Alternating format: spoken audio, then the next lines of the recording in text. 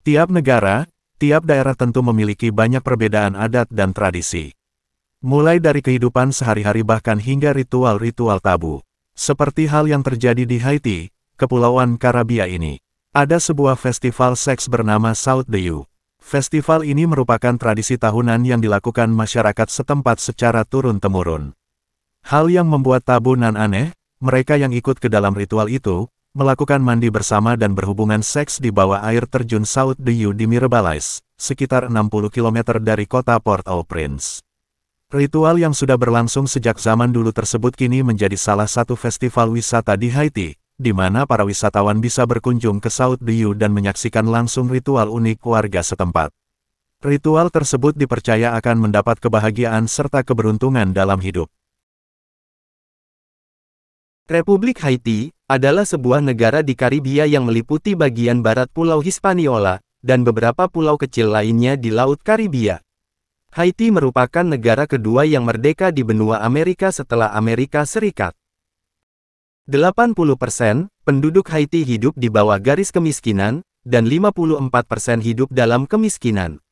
Pendapatan rata-rata per kapita di Haiti adalah 480 dolar Amerika Serikat per tahun, bandingkan dengan Amerika Serikat yang mempunyai pendapatan per kapita 33.550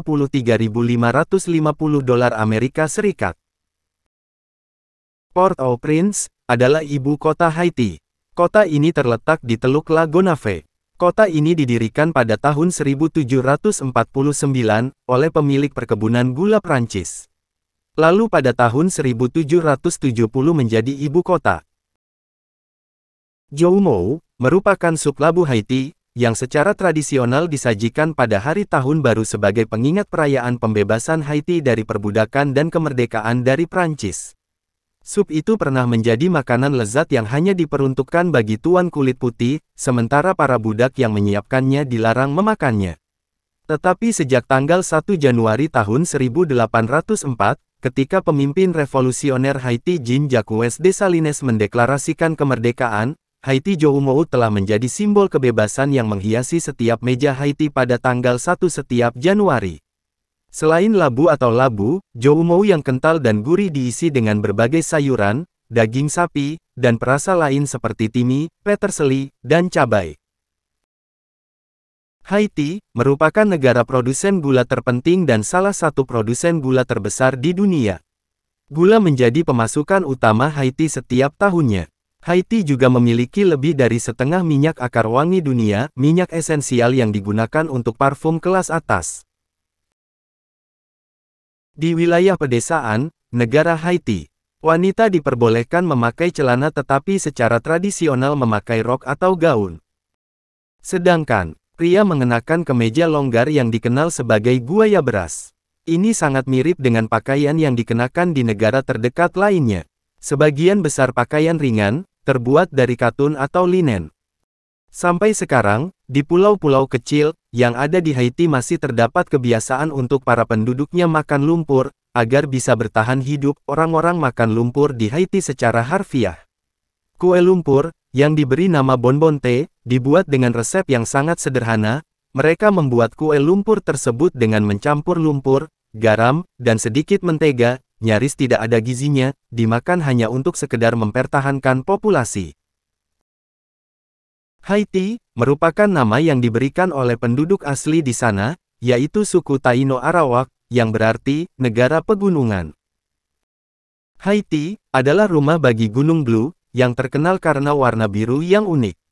Warna ini disebabkan oleh penampilan gunung yang tampak biru saat disinai oleh sinar matahari pada waktu-waktu tertentu. Fenomena ini menciptakan pemandangan yang memukau bagi pengunjung. Di ibu kota Haiti, Port-au-Prince, terdapat katedral santrian yang menjadi salah satu ikon bangunan bersejarah di negara ini. Katedral ini dibangun pada abad ke-19 dan menampilkan arsitektur yang indah dengan sentuhan gaya gotik dan neo-Romawi. Sayangnya, katedral ini mengalami kerusakan serius akibat gempa bumi pada tahun 2010, tetapi masih menjadi simbol penting bagi warga Haiti. Vodou, yang juga dikenal sebagai Fudo, adalah agama dan sistem kepercayaan yang penting di Haiti. Kultur Vodou merupakan perpaduan antara tradisi Afrika, agama Katolik Roma, dan unsur-unsur lainnya. Ritual, musik, tarian, dan upacara Vodou memiliki peran sentral dalam budaya dan identitas Haiti.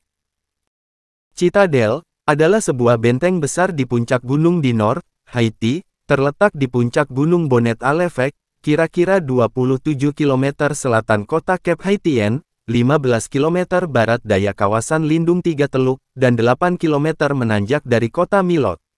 Ini adalah salah satu benteng terbesar di Amerika dan ditetapkan oleh Organisasi Pendidikan, Ilmu Pengetahuan, dan Kebudayaan Perserikatan Bangsa-Bangsa sebagai situs warisan dunia pada tahun 1982, bersama dengan Istana Sans Souci di dekatnya. Benteng puncak gunung itu sendiri telah menjadi ikon Haiti. Benteng dibangun oleh Henry Christophe, seorang pemimpin kunci selama pemberontakan budak Haiti, setelah Haiti memperoleh kemerdekaan dari Prancis pada awal abad ke-19. Amiga Island adalah pulau kecil yang mempunyai pemandangan bak kepingan surga. Pulau ini mempunyai salah satu pantai terbaik di negara Karibia. Snorkeling adalah salah satu kegiatan paling populer di sini. Pengunjung dapat menikmati air yang jernih, mengamati biota laut, menjelajahi terumbu karang, berjemur di pasir putih yang masih alami, dan berenang di perairan Pulau Amiga yang luar biasa. San Souci Palace merupakan istana yang menarik banyak pengunjung. Istana yang berada di kota Milot di Haiti ini populer sebagai kediaman kerajaan Raja Henry I. Pengunjung dapat menyaksikan beberapa tangga yang rusak dan jendela melengkung tinggi yang menawan. Di sekitar istana juga terdapat pepohonan rindang yang menyegarkan mata. Hal ini membuat istana bersejarah ini tampak lebih memukau. Labadi, merupakan pelabuhan menakjubkan yang berada di wilayah utara Haiti. Tempat menawan ini populer sebagai resor pribadi milik Royal Caribbean International Cruise Ltd, hingga tahun 2050. Destinasi wisata ini sukses memikat sebagian besar turis untuk berwisata di Haiti. Pengunjung dapat menikmati air sebening kristal di pelabuhan ini dan juga pantai berpasir putih yang mempesona. Alasan-alasan tersebutlah yang membuat tempat ini menjadi salah satu destinasi wisata yang paling diunggulkan di Pulau Karibia. Museum of Haitian Art adalah tempat yang ideal untuk mempelajari karya seni di Haiti. Pengunjung dapat mengamati karya seni artistik yang menakjubkan yang merupakan karya dari warga lokal. Mereka juga dapat menyaksikan koleksi yang menampilkan karya warna-warni, yaitu berupa karya seni yang indah yang dikembangkan oleh penduduk setempat di Pulau Karibia yang spektakuler ini. Festival Genjot Masal, South de di Haiti, Kepulauan Karibia, merupakan tradisi tahunan yang dilakukan masyarakat setempat secara turun-temurun. Mereka mandi bersama dan genjot-genjotan di air terjun, South de di Mirebalais, sekitar 60 km dari kota Port-au-Prince. Ritual tersebut, dipercaya akan mendapat kebahagiaan serta keberuntungan dalam hidup. Zombie dikenal luas melalui film-film horor abad terakhir. Hampir semua menganggap zombie mengerikan tapi juga menjijikan. Zombie bermula dari mitos rakyat Haiti yang mulanya gak dikenal. Kata zombie sendiri berasal dari Kongo Nzambi artinya, jiwa. Ketika budak dibawa ke Haiti dan agama Vodou tumbuh di tengah tradisi lama Afrika gagasan zombie lahir. Dalam budaya Haiti, lamaran biasanya melibatkan pria yang memberikan wanita yang dia minati dengan hadiah atau tanda penghargaan. Ini bisa melibatkan barang simbolis seperti perhiasan, bunga, pakaian, atau bahkan puisi. Setelah lamaran diterima, kedua keluarga biasanya diundang untuk bertemu dan merayakan pertunangan. Pemotongan dan pemanggangan kue, praktik ini juga merupakan kegiatan populer di resepsi di Haiti. Setelah memotong sepotong dari setiap sisi kue tiga tingkat, merupakan tradisi bagi mereka untuk saling menyuapi satu gigitan sebelum bersulang bersama atau secara terpisah. Ini melambangkan komitmen mereka satu sama lain dan berfungsi sebagai kesempatan untuk berterima kasih kepada semua orang yang telah mendukung mereka sepanjang perjalanan mereka. Kemudian para tamu bersulang dengan sampahnya atau minuman pilihan lainnya. Para tamu juga dapat memberikan kata-kata selamat selama waktu ini. Buket-buket dan pelepasan garter. Ini adalah dua kegiatan menyenangkan yang sering dimasukkan pasangan dalam resepsi mereka. Selama ritual ini, wanita lajang berkumpul sementara pengantin wanita melemparkan karangan bunga ke bahunya atau ke belakang punggungnya, berharap siapa pun yang menangkapnya akan menjadi yang berikutnya untuk menikah. Sedangkan untuk melepas garter, calon pengantin pria biasanya mencabutnya dari kaki mempelai wanita dengan giginya yang bisa membuat hal-hal menjadi cukup menarik. Musik dan tarian Musik memainkan peran penting dalam pernikahan Haiti. Genre tradisional seperti kompas, rara, konpa direk, Mizik Rasin dan Badou sering dimainkan di pesta pernikahan untuk menciptakan suasana yang meriah. Kompas adalah genre musik paling populer di Haiti, dan dikenal dengan tempo cepat dan ritme yang ceria. Rara adalah genre tradisional lain yang berasal dari upacara Vodou dan memiliki tempo yang lebih lambat dari kompas tetapi masih membawa banyak energi dengan drum dan trompetnya. Konpa direk mirip dengan kompas tetapi memasukkan lebih banyak instrumen elektrik seperti gitar, bass, keyboard, dan synthesizer ke dalam campuran.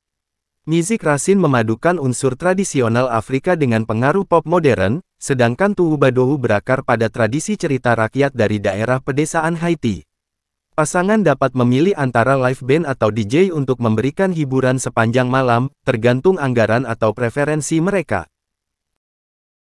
Terima kasih banyak sudah menonton. Jika panjenengan berkenan, subscribe channel ini, agar ke depannya kami semakin bersemangat dalam menyajikan konten-konten yang bermanfaat dan menghibur panjenengan. Akhir kata, wassalamualaikum, sampai jumpa di segmen berikutnya.